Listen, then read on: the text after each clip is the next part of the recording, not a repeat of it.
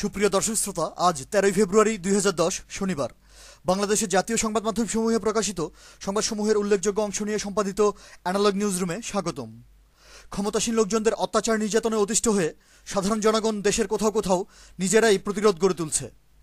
বগুড়ার নন্দীগ্রামে আওয়ামী স্বেচ্ছাসেবক লীগ সভাপতি চাঁদার দাবিতে একজন নিরীহ ব্যবসায়ীকে ছুরিকাহত করে হত্যা করার পর বিক্ষুব্ধ জনতা পিটিয়ে মেরে ফেলেছে সরকারি দলের ওই নেতাকে। এ প্রসঙ্গে খবর করেছে, কালের কণ্ঠ, আমার দেশ, সমকাল, নয়াদিগন্ত সহ অন্যান্য পত্রিকাগুলো। সরকার দলীয় ছাত্র সংগঠন ছাত্রলীগের সাথে ভিন্ন মতাদর্শী অপর একটি ছাত্র সংগঠনের দফায় দফায় সংঘর্ষে রণক্ষেত্রে পরিণত হয়েছে চাঁদপুরের হাজীগঞ্জ। সংঘর্ষের ঘটনায় দুজন সাংবাদিক সহ মোট দশজন আহত হওয়ার সংবাদ এসেছে BD news twenty four dot com Prothom Alo, Ittefaq এবং কালের কণ্ঠে। ভাগবাটোয়ারার দ্বন্দ্বে দেশজুড়ে মুখোমুখি অবস্থান নিয়েছে মহাজোট শরিক জাতীয় পার্টি ও আওয়ামী লীগ।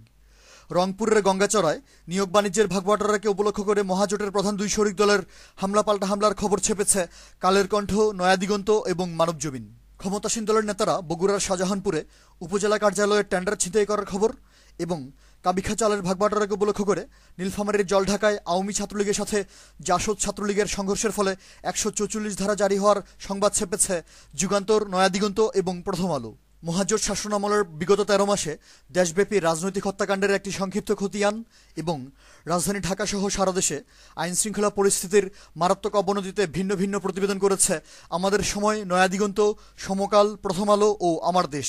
পটুয়াখালীতে শিক্ষা উপবৃত্তির টাকা বিতরণে অনিয়ম, ঝিনাইদহে প্রাথমিক শিক্ষক নিয়োগে দুর্নীতি মৌলভীবাজারে গণশিক্ষা কার্যক্রমে দলীয়করণ এবং বগুড়া ও সুনামগঞ্জে গণপূর্ত অধিদপ্তর এবং পানি উন্নয়ন বোর্ডের বিভিন্ন প্রকল্পে অনিয়ম ও দুর্নীতির সংবাদ ছেপেছে সমকাল এবং যুগান্তর। ঢাকার সাভার এবং সীমান্ত জেলা যশোরে প্রতিবেশী দেশ ভারত থেকে পাচার হয়ে আসা বিপুল পরিমাণ প্রাণঘাতী মাদকদ্রব্য উদ্ধার হওয়ার খবর এবং সাতক্ষীরার শ্যামনগরে ভারতীয় সীমান্তরক্ষী বাহিনী বিএসএফ একজন নিরীহ বাংলাদেশিকে গুলি করে হত্যা করার সংবাদ ছেপেছে কালের কণ্ঠ, যুগান্তর ও সমকাল। রংপুরের তারাগঞ্জ ও জামালপুরের সরিষাবাড়িতে কাবিখা প্রকল্পে ব্যাপক অনিয়ম ও দুর্নীতি এবং কালোবাজারে কাবিখার চাল বিক্রি হওয়ার খবর ছেপেছে আমার দেশ ও প্রথম আলো। বিএডিসির নিম্নমানের কৃষি বীজের কারণে নোয়াখালীর কৃষকরা মারাত্মকভাবে ক্ষতিগ্রস্ত হওয়ার সংবাদ এবং ভারতীয় পোলট্রি পণ্যের আগ্রাসন ও পোলট্রি উপকরণের অস্বাভাবিক মূল্যবৃদ্ধির ফলে দেশব্যাপী পোলট্রি শিল্পে ভয়াবহ ধস নামার উদ্বেগজনক খবর ছেপেছে প্রথম আলো ও Manabzamin. BD news twenty four dot com Amader Shomoy ও যুগান্তরে আপডেট হয়েছে। সাংবাদিক নির্যাতনের অপরাধে রাজশাহী বিশ্ববিদ্যালয় প্রশাসন ছাত্রলীগের নয়জন নেতাকর্মীকে বহিষ্কার করার সংবাদ। অ্যানালগ নিউজ আজ এ পর্যন্তই। আমাদের পরবর্তী নিউজ শোনার আমন্ত্রণ জানিয়ে আজকের মতো বিদায়। ধন্যবাদ।